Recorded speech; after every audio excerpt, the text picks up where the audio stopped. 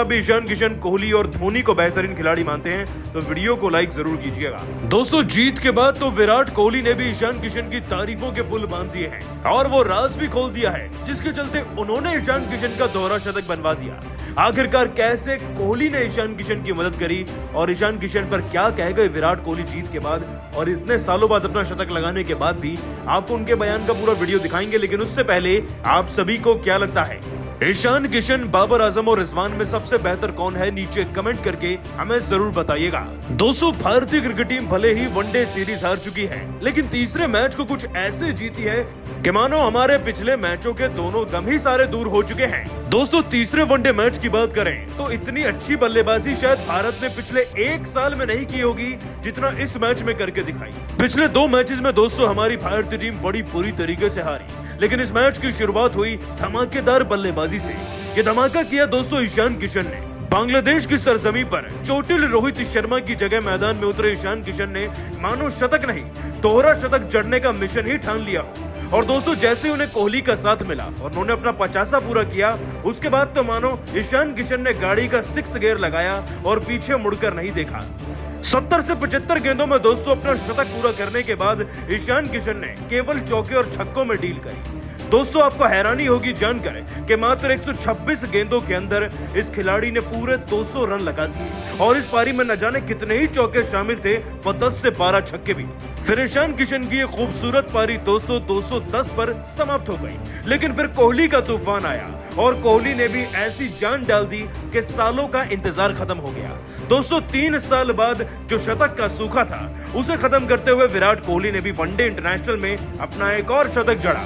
इक्यानवे गेंदे 113 रन 11 चौके और दो छक्कों की मदद से कोहली की 113 रन की शानदार पारी भी आज हम सबने देख ली।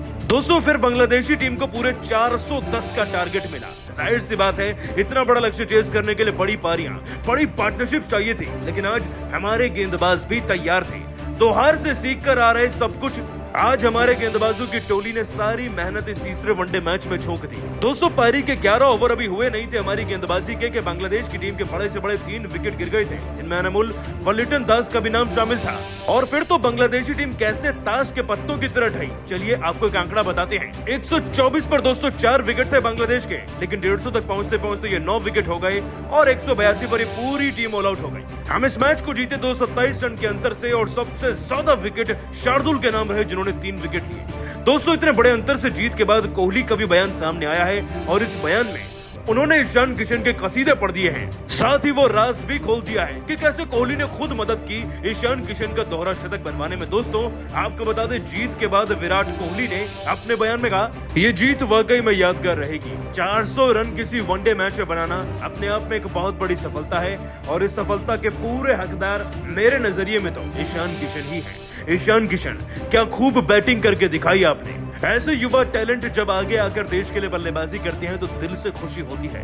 और आज जब वो अपना शतक लगा रहे थे तो मैं लगातार उनसे यही कह रहा था, अब आप अपने शतक के बेहद करीब आ गए हैं। थोड़ा विनम्र होकर खेलिए, शतक लगाइए और दोहरे शतक तक जाइए, जिसके बाद इस युवा खिलाड़ी ने बिल्कुल वैसा ही किया। ऐसे खिलाड़ी बहुत कम होते हैं जो जोश और होश दोनों को मिलाकर खेले, और ईशान उसी का नतीजा है। शायद तभी वो आज 210 रन बनाने में कामयाब हो पाए, जो शायद वनडे इंटरनेशनल में किसी के बस की भी नहीं बनाना होता।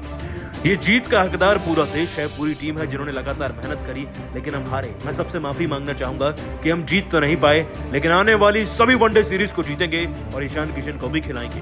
दोस्तों, विराट कोहली ने ईशान के कसीदे पढ़ दिए और आखिरकार ऐसा हो भी क्यों ना? ईशान किशन एक ऐसे खिलाड़ी बन चुके हैं जो भारत के अच्छे बैट्समैन विकेट कीपर के साथ साथ ओपनर भी रहेंगे। लेकिन आप सभी को क्या लगता है, ईशान किशन सैमसन व पंत में सबसे बेहतर कौन है? नीचे कमेंट करके ज़रूर बताइएगा। और अभी सब्सक्राइब कीजिए हमारे यूट्यूब चैनल को। धन्यवाद।